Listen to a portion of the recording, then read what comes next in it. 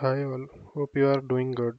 So in this video I'm going to demonstrate you how to create a rich UI table with searching and sorting facility in Visualforce. So in this, uh, for demonstrating this, I have used AngularJS, Remote Objects and Bootstrap. So this is the screenshot of that table uh, which I have built. In this I have two columns one is first name and the second is last name. So I have picked these from contact object. And here's a searching search box which will be available for the searching facility for searching the data depending on whichever text you enter here.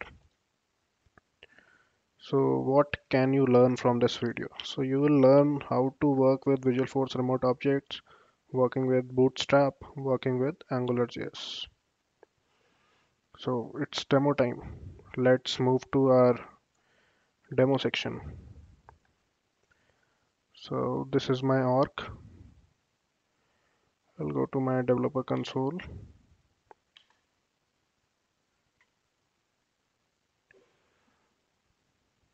So my this page is open. Uh, bootstrap angular table. I'll just preview this so you can see like I have here 10 records. Uh, like if I click on this it shows me like it is arranged in ascending order. When I click on this it arranges in descending order of first name.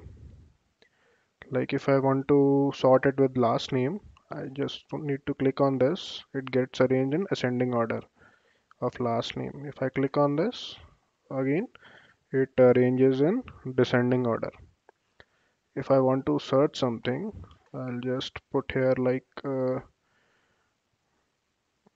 I want to search for young. So young was in last name so it has searched for that.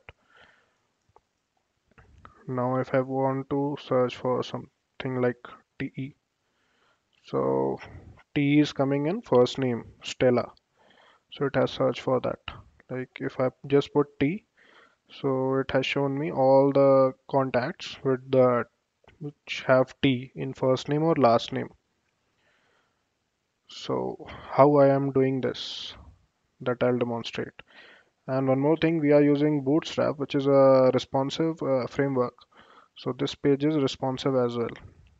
Like it is mobile friendly as well. So I'll go to the code part, how I have done that. So for this functionality, I have not written any controller as you can see in page section. Like I've disabled uh, HTML tag I've disabled body tag I've disabled header I've disabled uh, sidebar and standard style sheets as well. So I've created my own head part HTML head part. So in this first tag is for your uh, title page title. Second is for char set which we are uh, which we are uh, using Second is for viewport for that uh, responsive UI. And then we are including uh, Bootstrap CSS, minified CSS for the UI part. Then we have jQuery, which is very essential as everything is based on this only. Then we have a Bootstrap min minified JS, and then we have a Angular minified JS so these are the libraries which we are including in this page. Then we have created so for uh, working while working in remote objects we have to create like this apex remote objects app. We have to use this. And in this we have to create remote object model so model basically is connecting with an object which we are, we are which you are going to work on like i am working on contact object so I've put the model name as uh, contact and I've put the fields which I'm going to work on like I'm working on first name and last name only. Then this is the shorthand, just shorthand for like I have put DB contacts. So this I'll be using for reference in my further code in uh, JavaScript. So I've created a remote object. Now I'll be connecting with that so those who don't know about angular so let me show how to work start working on that So first thing that you need to do while working on Angular is set up ng app. Like here ng app is my app, then ng controller, that is my controller. And here's a function fetch contacts, which is defined in my controller and which will be called on the initial loading on ng init. So this will fetch all the contacts from the database and show in the table. So I'll just again go up starting. So when we start working with Angular, we first have to define the Angular module. And in Angular module, we have to define our uh, ng app, which we put in the below tag, like here.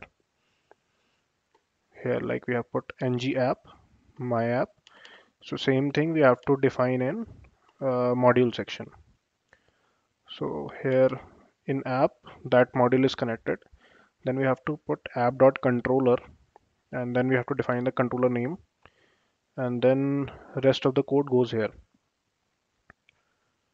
so like I have these uh, variables these are simple variables. Just we need to put dollar scope uh, before every variable. So this is sort type. Like whichever column we are sorting we are putting dynamically here. So when the page loads I'll just show you. When the page loads these records are arranged uh, in ascending order of first name. So this is the default value which I have put first name as sort type and sort reverse is false. Depending on this uh, boolean variable I am identifying whether to arrange it in ascending order or descending order. So this is the variable. So by default I have put false. So initially it comes in ascending order like you can see here. The records are arranged in ascending order. Then I have this array which is named as contacts and that table uh, this table is connected with that array only whichever records come to that array that is presented here so this is the search text which I have connected with this input box whichever thing I write here uh, comes to this variable. I'll show you how it is bind with the input field. Then this is fetch contacts. First I'll show you how binding is done. So remember search text and contacts, sort type and sort order, how these four variables are bind with the UI part.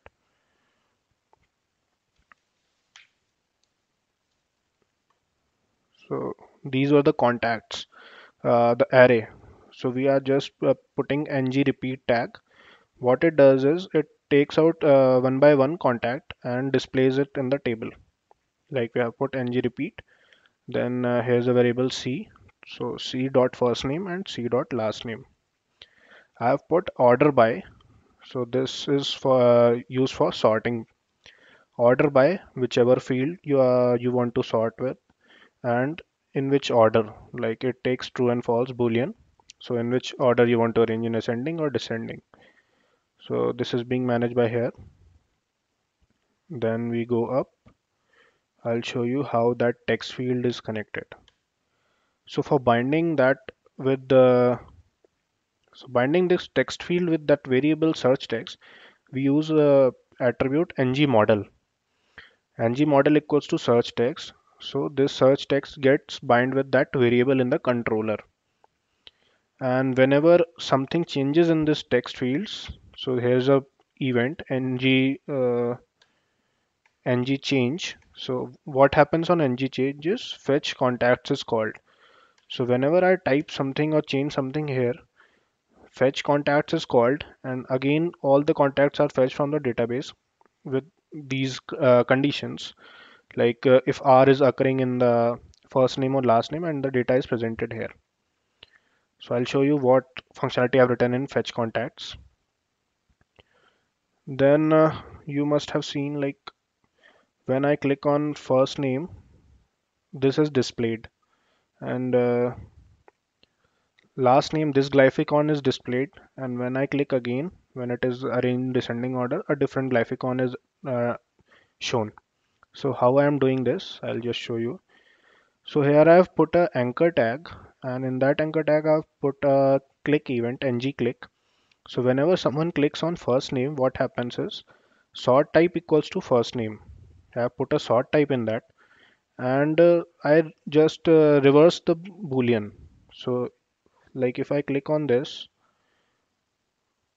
uh, I clicked on this what happened? Sort type became first name. Okay sort type became first name and the sort order gets uh, reversed so when I click on this sort order is getting reversed. So this is being done from here.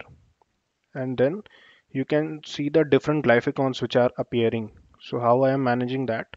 So these are two glyphicons sort by attribute and sort by uh, attribute alt.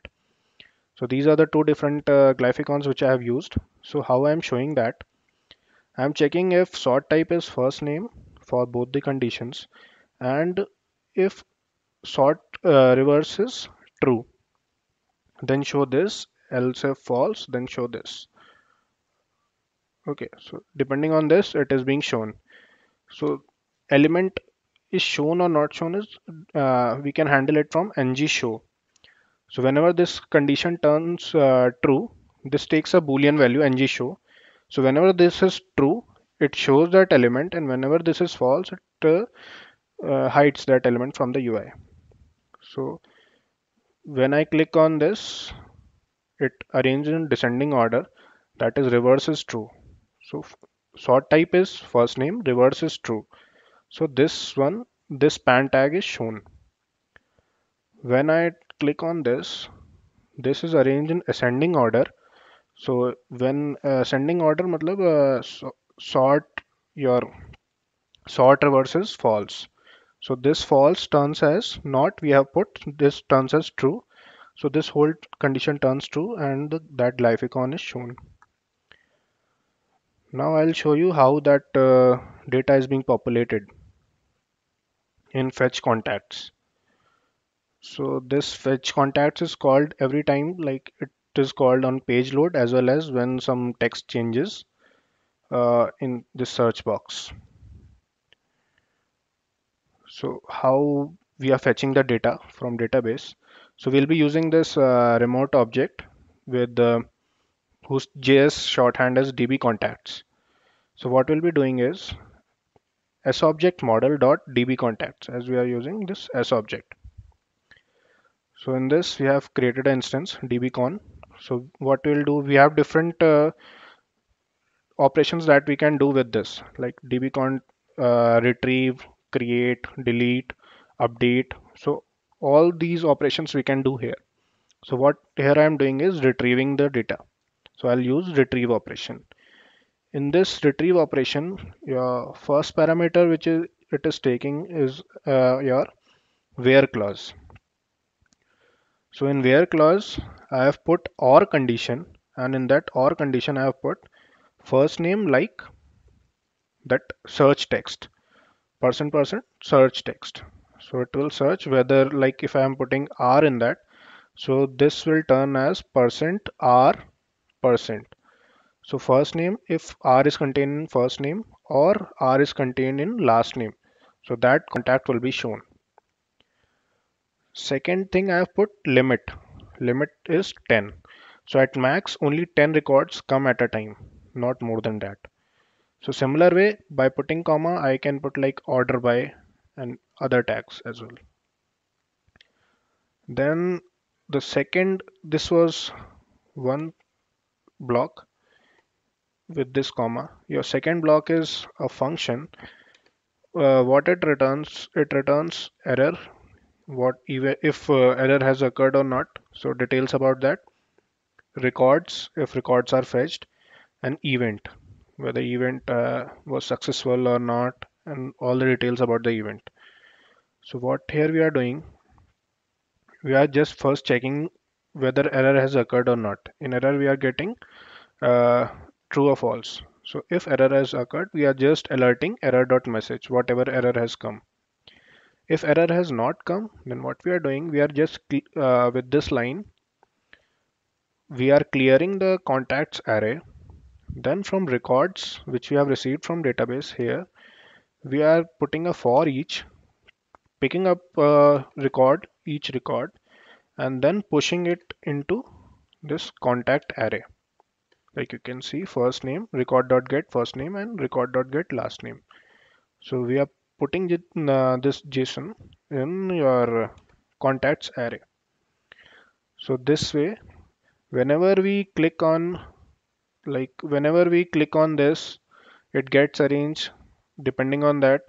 Whenever we put something here uh, we search the data and again and again this uh, fetch contacts is called. So this is a simple code for searching sorting your data presentation without using your controller. That's the best part I love because I'm not uh, there's no need to write the test class for that controller. And uh, that's all. In 95 lines we have covered this whole functionality with a good UI we you can enhance it more and you can add on various other functionalities like pagination and all. So it is very easy with this. So that's all in this video. Don't uh, let me go back to this. So thank you. Don't forget to subscribe as we are going to present many other videos. Thank you